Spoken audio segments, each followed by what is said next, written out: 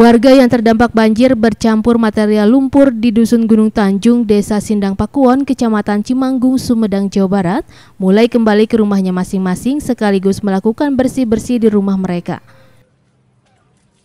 Dari 144 jiwa warga Dusun Gunung Tanjung ini, hampir semuanya rumah mereka terendam banjir, sehingga warga diungsikan ke tempat pengungsian sementara.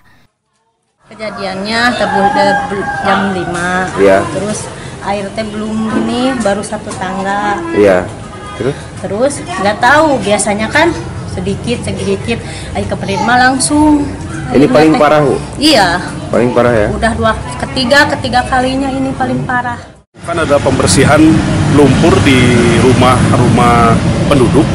Warga yang mengungsi sendiri seperti apa? Uh, untuk saat ini mereka sudah kembali ke rumahnya masing-masing. Hanya semalam aja karena malam memang ketinggian air sangat uh, luar biasa. Diki Guntara, Bandung TV.